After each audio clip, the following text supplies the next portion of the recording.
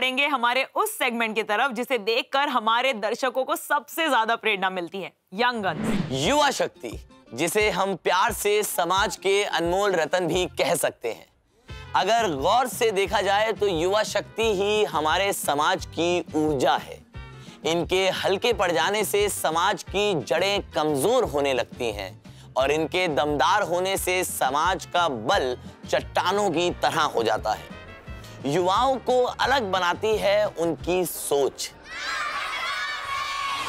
एक नई सोच जो समस्याओं को एक नए नज़रिए से देखती है, जो उलझनों से डरती नहीं है, बल्कि उन्हें चुनौती देती है। युवा पीढ़ी का साहस ही हमारे समाज के बदलाव में एक महत्वपूर्ण भूमिका निभाता है।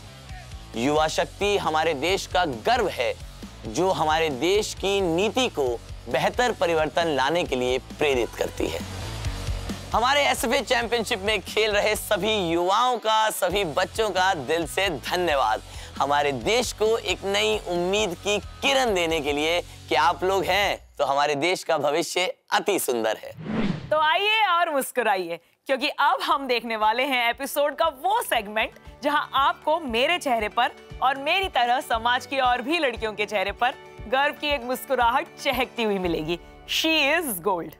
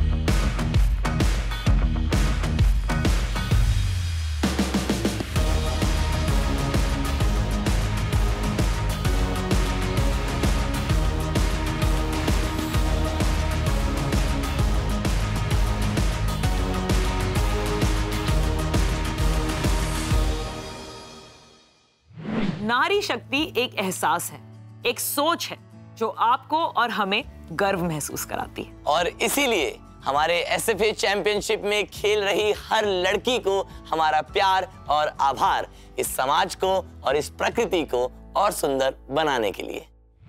अगर आपको चैंपियन बनना है तो आपका नज़रिया भी चैंपियन की तरह होना चाहिए। आपको समझ आना चाहिए कि सिर्फ़ जीत और हार से ही आप चैंपियन नहीं बनते। आप चैंपियन बनते हैं हर दिन की मेहनत से, हर पल की सोच से और उलझनों को अपनाने से, मुश्किलों से लड़ने की ताकत से। हर चैंपियन को सीखना होता है कि ये सफ़र का दर्द ही है जो कई सपनों में रंग भरता है।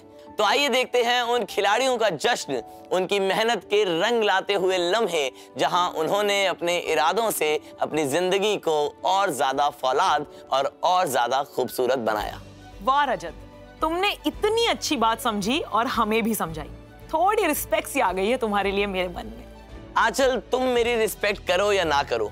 तुम्हें रिस्पेक्ट करनी होगी हमारे कमाल के प्लेयर्स की। जिन्होंने दिल्ली के मौसम की परवाह किए बिना अपना बेस्ट प्ले दिखाया, जिन्होंने ओपोनेंट की स्ट्रेंथ जानते हुए भी उनसे आँख मिलाकर चैलेंज लिया। और तभी जाकर हमें इतना बेहतरीन मुकाबला देखने को मिला। 500 से ज़्यादा स्कूल में 6000 से ज़्यादा एथलीट्स ने किया पार्टिसिपेट मगर जीत का शोर जाएगा सिर्फ़ कुछ ही टीम की बसेस में उनके साथ। तो देर किस बात की? आइए देखते हैं किन टीम्स ने मचाया है एसएफए चैंपियनशिप्स दिल्ली में धमाल। दिल्ली में देखने को मिले बहुत ही करीबी मुकाबले जिसकी वजह से लीडर बोर्ड के टॉप पर फिनिश करने वाली टीम्स के बीच बहुत ही कम पॉइंट्स का डिफरेंस देखने को मिला। वो टीम जिन्होंने दिखाया अद्भुत खेल मगर मात्र एक पॉइंट से रह गए वरना चांदी का मेडल आज इन्हीं के सीने पर सवार होता। मानव भावना पब्लिक स्कूल नथुपुरा ने कमाया है ब्रॉन्ज मेडल। 253 स्टूडेंट्स ने पार्टिसिपेट किया आर्ट स्पोर्ट्स में जिनसे उनका टोटल स्कोर हुआ 112 पॉइंट्स। तीन गोल्ड मेडल पाँच सिल्वर मेडल और सात ब्रॉन्ज मेडल ये टीम जिसे एक पॉइंट की कमी का अफसोस रहेगा शायद। इतनी बड़ी चैंपियनशिप में सिल्वर मेडल के लिए फाइट तो लगती है। इतनी कि आप सिल्वर की कीमत जितना पसीना बहाओ तब हमें हासिल कर पाओगे। जो कि कर दिखाया है पाथवेज वर्ल्ड स्कूल गुरुग्राम ने। 199 स्टूडेंट्स ने पार्टिसिपेट किया आठ स्पोर्ट्स में जिससे उनका टोटल रहा 113 का। थर्ड रैंक से सिर्फ़ एक पॉइंट आगे।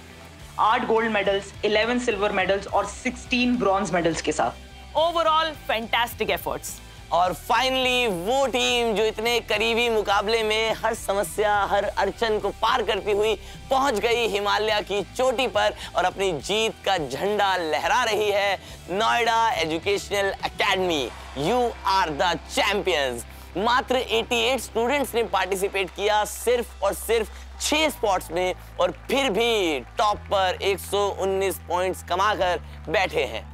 Seven gold medals, four silver medals, four bronze medals. What an achievement!